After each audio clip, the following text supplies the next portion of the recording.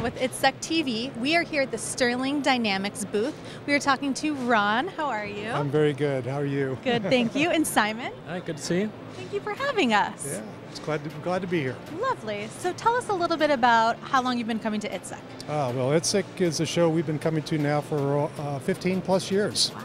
Yep, and uh, it's a very important show for us, Mm-hmm. uh, mainly because it's all inclusive. We have all of our customers, mostly uh, large and small here, gives us an opportunity to engage with them. Uh, we have a lot of our vendors are here, a lot of our colleagues are here, and an area that I don't know gets enough attention is the academia portion. Uh, so we get to talk to and uh, sort of mentor some of the younger uh, up and coming industry engineers that are going to be working in the future. So that's important to us as well. So That's a great yeah, point. I've never yeah, thought of that. Yeah, yeah. Tell me what else you enjoy about being at ITSEC. Well, another great benefit is that the end users are here as well. So not only are our customers here, but the actual users of the flight controls are here. So we get to engage with them and get their feedback. Uh-huh. And that's always very beneficial. So the Air Force is here, the Marines, the Navy, the Army. It's very important that we get an opportunity to speak with them as well.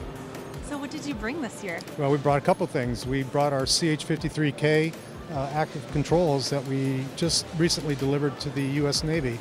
Uh, it's going to be part of the King Stallion training system, Uh-huh. and we're hoping to uh, do more deliveries of that. Uh-huh. And we brought this uh, VR demo that uh, Simon can talk more about, but uh, we brought that as well. How exciting. Yeah. Tell me a little bit about the VR demo.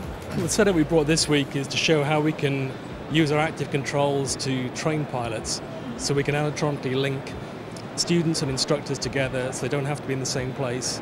And we, the students and the instructors can feel each other's movements through the controls. Oh, wow. That's super exciting. So tell me a little bit about what you changed with some of the controls then. Well, uh, we brought a variety of control products with us uh, this week. Uh, we have a range of very high fidelity and medium fidelity products. They're all interchangeable uh, in terms of the grips, uh, in terms of uh, configuration. Uh, they can be reconfigured in a number of different ways so they can be applicable to um, a multiple different types of aircraft. Wow. How exciting. Yeah. Nice. And then uh, what would you like to touch on with the VR?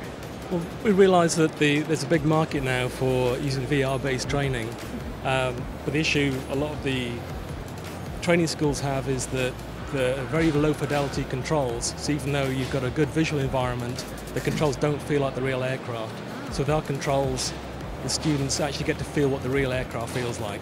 Oh, absolutely. I wouldn't have thought of that. That's perfect. You guys have thought about everything. We do our best.